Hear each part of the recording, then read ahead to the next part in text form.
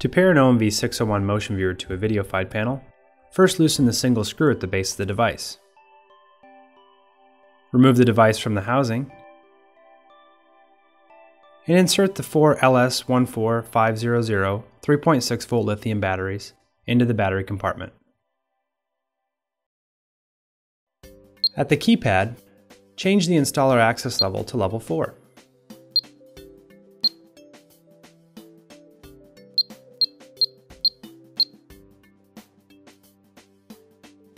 Navigate to the configuration menu, then to areas and devices.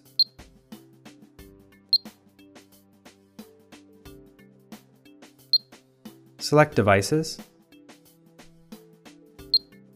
and select add a new device. With the display showing press program button of device, use a paperclip to press the programming button on the front of the motion viewer.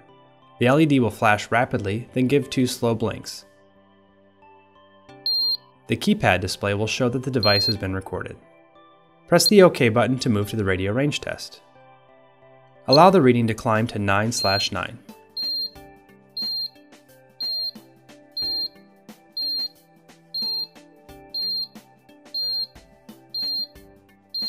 Press OK to stop the test. Press Escape No to skip the test. Choose the area and press OK. Give the device a name and press OK.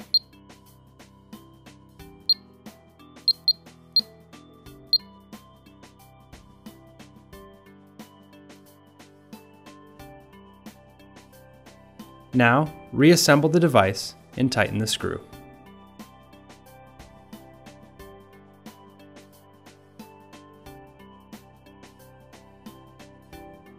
On the keypad, press OK to run the functional test.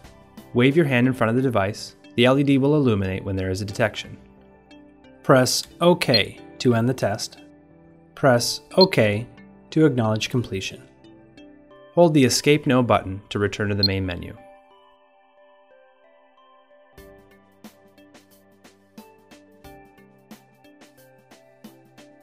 To mount the motion viewer, First attach the mounting base to the surface you'd like to install the device. It's recommended to use four screws. Next, screw the extension onto the base and adjust the mounting screw to point in the direction you'd like the device to point.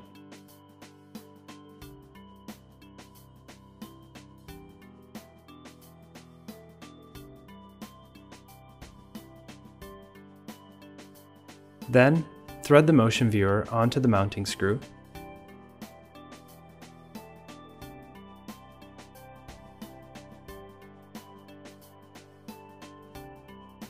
Finally, adjust the motion viewer for proper alignment.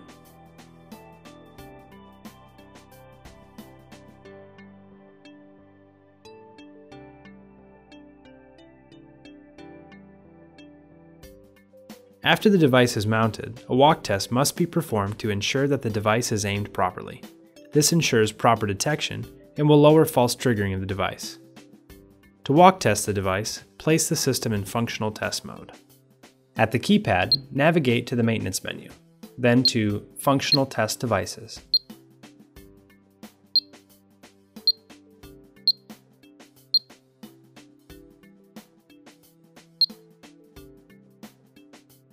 Walk in front of the motion viewer and verify that the red LED behind the Fresnel lens illuminates where detection is needed and doesn't illuminate in areas where detection is unwanted. Press OK to end the test. Press and hold the Escape No key to return to the main menu.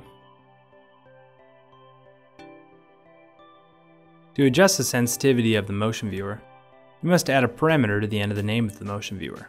There are multiple sensitivity levels for each device, refer to the Quick Start Guide or the programming manual for more information.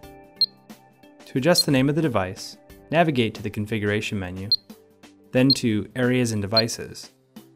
Select Devices, then Device Configuration. Use the arrow keys to locate the motion viewer. Press the OK button on the motion viewer you'd like to adjust. Use the arrow key to select Changing Name Motion Viewer press the OK button. Type the name of the device, then the dollar sign, then the sensitivity level needed.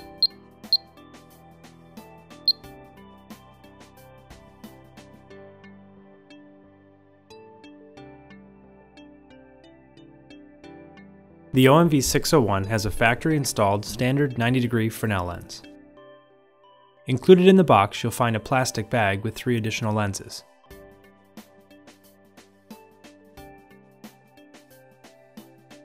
A beam lens,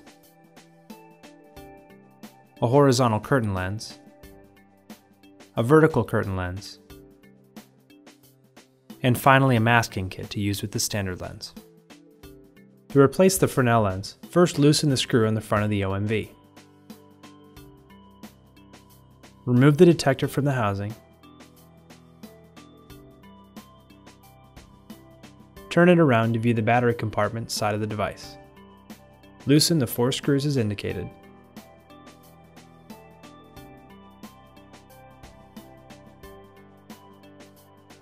Do not remove the screws, but rather push them back into the product to push the lens trim ring away from the main assembly.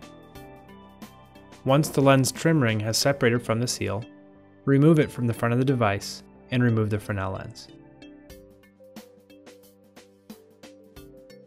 Take note of the notch in the lens. This notch should always be in the lower right corner when viewing the device from the front.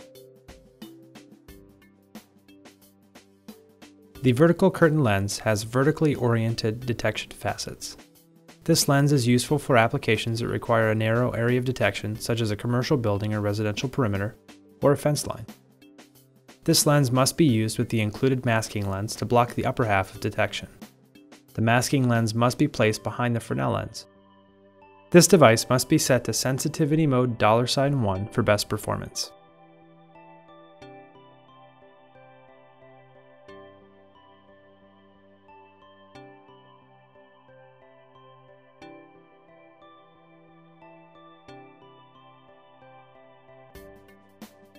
The horizontal curtain lens has horizontally oriented detection facets. This lens requires no additional masking lens, but must be set to sensitivity mode $8 for best performance.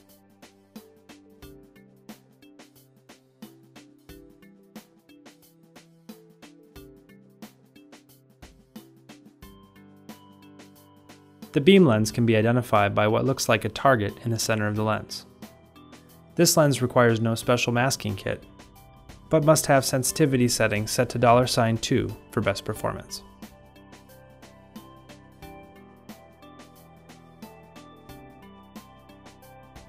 The included masking kit is designed for use with the standard 90 degree lens. A diagram of the detection facets and their detection zones can be found in the Quick Start Guide, included in the box with the OMV 601. To use the masking kit, remove the sections where detection is desired. Leave the plastic in areas where detection is not desired.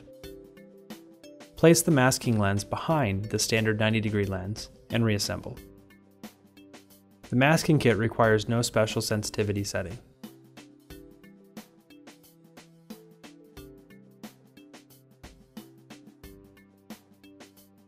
Reassembly is opposite of assembly.